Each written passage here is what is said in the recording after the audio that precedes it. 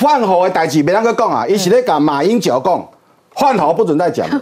吴伯雄，换候不准再讲了。郝文斌，换候不准再讲了。哈，你这军王金平，你点点唔通去讲啊？哎，这代表党内真的有人在讲了。好啊，我请问李乾隆是什么角色啊？李乾隆，你在这里点兵点将，就这群大人的面头前，你有法度？你干嘛研究讲我已经在点兵点将了？